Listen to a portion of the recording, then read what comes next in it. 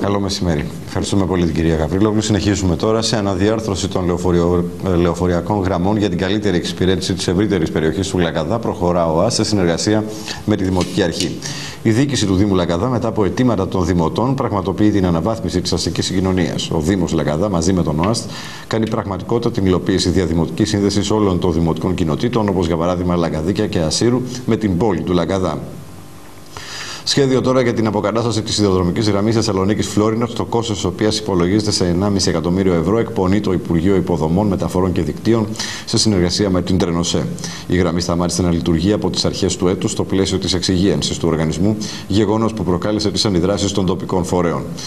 Το σχέδιο επαναλειτουργίας προβλέπει συνδυασμό μετακινήσεων και θα υλοποιηθεί σε συνεργασία με την τοπική κοινωνία. Εκτός από τη συμμετοχή της πολιτείας, μέσα από το κονδύλιο για επιδότηση άγωνων γραμμών του ΟΣΕ, το σχέδιο προβλέπει προαγορά καρτών μετακίνησης από τους τοπικούς φορείς. Επίσης, η ΤΡΕΝΟΣΕ θα θεσπίσει ειδική εκπτωτική κάρτα για τους συχνούς χρήστες.